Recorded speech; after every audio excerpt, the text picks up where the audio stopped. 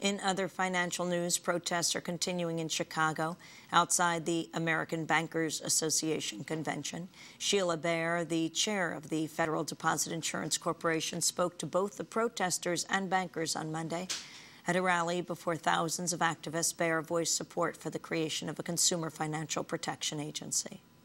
By regulating the non-bank shadow sector for the first time, this new agency can help prevent future abuses. I hope we see other measures taken that will create a more resilient, transparent, and better regulated financial system, including an end to the too big to fail doctrine. Yes, no more bailouts, no more bailouts.